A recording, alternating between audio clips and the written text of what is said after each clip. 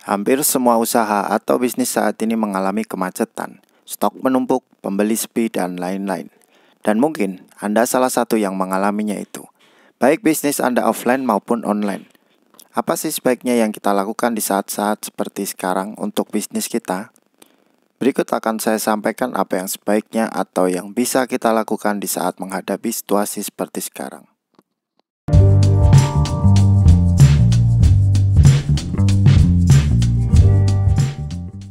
Segala lini, hampir semua bisnis atau usaha mengalami penurunan drastis, bahkan mungkin sama sekali tidak beroperasi. Terlebih Anda yang mempunyai usaha offline. Jadi yang pertama yang bisa kita lakukan untuk bisnis atau usaha kita adalah membangun akun bisnis via online. Usaha membangun akun ini mungkin tidak akan langsung membuahkan hasil dalam usaha Anda. Namanya juga membangun. Tapi ketika kondisi sudah membaik, aktivitas kembali lancar, akun Anda mungkin menjadi salah satu senjata utama yang paling berpengaruh dalam perkembangan bisnis yang saat ini dijalankan. Anda pasti setuju, dalam kondisi apa pun, di era teknologi seperti sekarang, usaha apa pun membutuhkan sentuhan online dalam mengembangkannya. Minimal Anda membutuhkan teknologi online untuk keperluan promosi. Dengan online, usaha kuliner Anda misalnya bisa menjangkau calon customer lebih banyak karena jangkauan promo lebih luas. Maka dari itu, jika selama ini usaha offline Anda belum menggunakan promosi online, ini adalah saatnya Anda mengembangkan promo online-nya. Anda bisa memulai membuat akun-akun sosial media seperti Instagram, Facebook, Marketplace, bahkan YouTube untuk promosi usaha Anda dari yang organik terlebih dahulu atau dengan tanpa berbayar. Lalu kalau memang ada dana bisa dilanjutkan dengan yang berbayar, baik dengan IG Ads, paid promote atau endorse, giveaway, dan lain-lain. Untuk Instagram, saya sudah pernah membuat video tentang tips membuat akun Instagram untuk jualan di sini. Silakan teman-teman cek dan praktekkan untuk awal membuat akun bisnis Anda. Buat yang sudah ada akun bisnis online, jika selama ini fokus pada postingan produk, mulailah dengan berbagi konten yang menarik atau bermanfaat. Gerakan di rumah aja akan membuat banyak orang lebih sering membuka sosial media. Tarik perhatian mereka pada akun bisnis Anda Sharing, sharing dahulu, selling, selling kemudian. Demikian para masta mengajarkan. Berikut ini ada beberapa hal yang bisa menjadi ide kalian dalam membuat konten. Yang pertama ada tips and trick. Bergabunglah di banyak forum, grup Facebook, komunitas yang relevan dengan produk atau jasa kalian, dan lain-lain. Ambil contoh produk atau jasa kalian adalah wedding organizer, maka bisa bergabung di forum-forum rumah tangga untuk mencari apa saja permasalahan rumah tangga yang kemudian bisa kalian cari jawabannya melalui Google YouTube, dan lain-lain.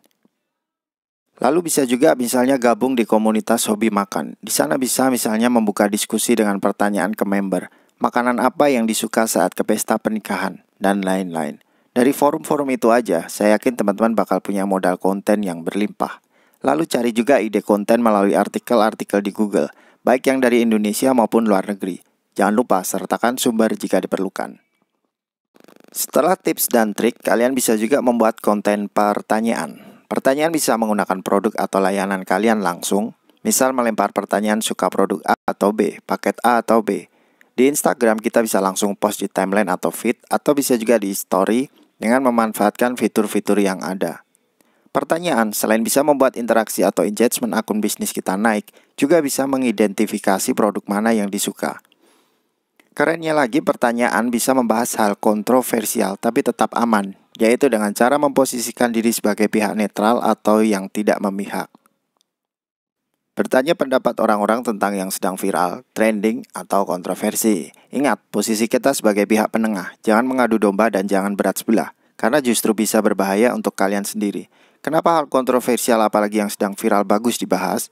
Karena persentase orang yang terlibat akan tinggi, tentunya itu bagus untuk menaikkan engagement akun bisnis kita. Selanjutnya yang ketiga adalah referensi. Referensi adalah konten yang berisi ide untuk penggunaan produk atau jasa tertentu yang tentunya sesuai dengan yang kalian jual atau sediakan. Contoh kalau produk fashion bisa posting gaya berpakaian artis. Wedding organizer bisa posting foto atau video dekorasi dan konsep pesta pernikahan. Atau misal jual perabot bisa posting perabot-perabot unik, dekorasi rumah minimalis, dan lain-lain. Ide konten yang keempat, teman-teman bisa posting humor atau konten lucu. Hampir semua orang atau mungkin malah semua orang menyukai hal yang lucu. Karena seserius apa pun seseorang pasti pernah tertawa dalam hidupnya. Hal-hal yang perlu diperhatikan dari sharing konten adalah Pertama, jangan membuat lelucon tentang musibah dan kondisi yang bersifat duka cita lainnya. Misal membuat konten lucu tentang korban corona, itu sama sekali tidak lucu dan justru membahayakan akun kalian. Yang kedua, kalian bisa cek melalui hashtag di Instagram untuk melihat konten-konten seperti apa yang disukai orang. Misal cek dengan hashtag tutorial makeup. Dari post yang berada di urutan atas, kita bisa lihat tipe konten yang disukai orang yang lalu bisa kita terapkan ke postingan sendiri yang tentunya dengan teknik ATM. Amati, tiru, modifikasi. Jangan asal sama apalagi asal repost. Yang ketiga, dalam momen-momen tertentu kita posting konten dalam bentuk update yang sedang terjadi. Misal saat musim mudik bisa share update tentang mudik atau saat terjadi wabah corona seperti sekarang bisa posting update tentang corona dan lain-lain. Selain membuat konten atau membangun akun bisnis di online, yang bisa kita lakukan selama wabah corona adalah koreksi sistem dan data bisnis kita.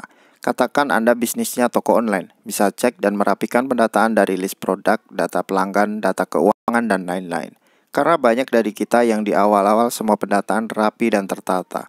Begitu order meningkat, data keluar masuk barang dan uang jadi ala kadarnya, bahkan tidak terdata. Selagi sepi, buat sistem baru yang lebih sederhana, tidak perlu rumit, yang penting jelas. Yang berikutnya adalah riset. Dalam berjualan di Instagram bisa dengan riset hashtag karena di waktu normal mungkin Anda tidak sempat meriset hashtag yang benar-benar tepat yang mana aja. Riset juga tentang produk, baik produk terlaris yang sudah dijual maupun produk-produk yang belum dijual dan berpotensi akan laris. Diperhatikan juga waktu-waktu ke depan itu bertepatan dengan apa aja. Misalnya Ramadan, mungkin bisa mempertimbangkan pernik Ramadan, produk-produk keperluan mudik, atau dari segi fashion bisa mulai mencari produk fashion yang bakal laris di bulan Ramadan. Setelah riset, hal yang bisa kita lakukan dalam masa wabah corona seperti sekarang adalah cobalah melihat peluang.